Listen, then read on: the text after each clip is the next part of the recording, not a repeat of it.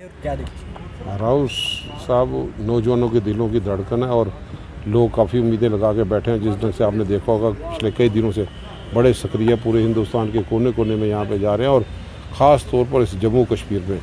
आ, लोग इन आज की जो जन विरोधी नीतियाँ अपनाए हुए जो लोग हैं जो इस वक्त सत्ता में काबज़ हैं अहंकार के नशे में डूबे हुए हैं।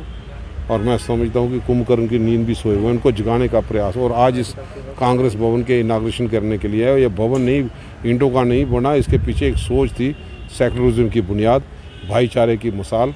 आज जिस ढंग से कई चुनौतियों का सामना इस भाईचारे की मिसालों को यहाँ पे करना पड़ा, और इसके इनाग्रेशन के बाद नौजवानों को भी कम से कम हौसले बुलंद यहाँ पे होंगे।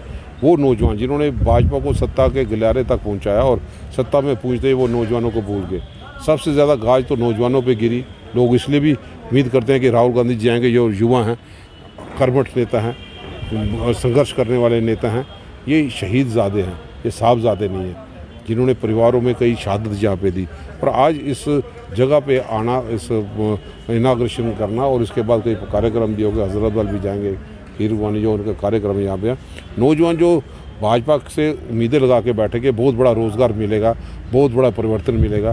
कहीं रोज़गार, चाहे मोदी साहब की दो करोड़ की नौकरी हो, चाहे गवर्नर साहब की पचास हज़ार हो, कहीं पे भी नौकरी देखने को नहीं मिला। और दो साल बीतने के बाद जो दावे करते थे कि हमने दो साल पहले ऐसे कदम उठाए, भाई कदम क्या उठाए? आपने रियासत का दर्जा छीन लिया, ये कदम थे। और अपनी पीठ भाजपा खुद ही थपथपाती है। क्या इसलिए थपथपाती है कि जम्मू कश्मीर का दर्जा छीना गया? इसलिए पीठ थपथपाती है कि जम्मू कश्मीर का रोज़गार छीना गया? इसलिए थपथपाती हैं कि यहाँ पे कोई इन्वेस्टर की टीम अभी तक नहीं आ पाया।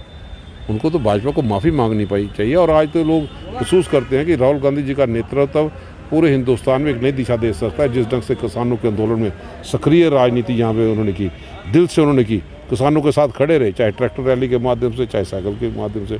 महँगाई चरण सीमा में इतनी पहुँचा दी कि आम गरीब आदमी का चुलना चलना मुश्किल हो गया। तो सारी दिक्कतें यहाँ पे हैं।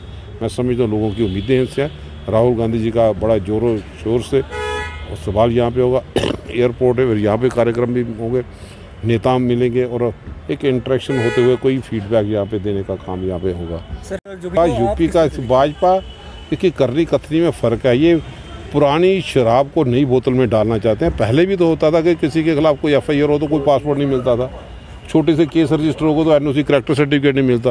ये नई कौन सी बात है? ये लोगों को गुमराह करके यूपी के चुनाव की तरफ़ शायद लोगों को गुमराह करने चाहते हैं, भाई ये पहले भी तो यहाँ को करप्ट अगर पाया जाता तो उसको डेड वुड करके डिक्लेयर करके बाहर निकाला जाता था।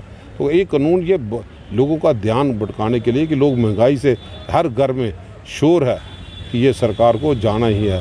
और जम्मू कश्मीर का रियासत का दर्जा मिले, चुने हुए नुमाइंदे आ जाएँ ताकि डेमोक्रेसी में लेफ्टिनेंट गवर्नर या चंद ब्यूरोक्रेट एडवाइज़र को सब्सिट्यूट नहीं है। लोगों की दिखते हैं, उनका समाधान सिर्फ़ चुनी हुई सरकार ही कर करेंगे। आज भी मांग करेंगे, राहुल जी से भी। कि रियासत का दर्जा फौरी तौर पर वापस मिले और गवर्नर की देख रेख में, लेफ्टिनेंट गवर्नर की सरकारें हमने दिल्ली में भी देखी हैं।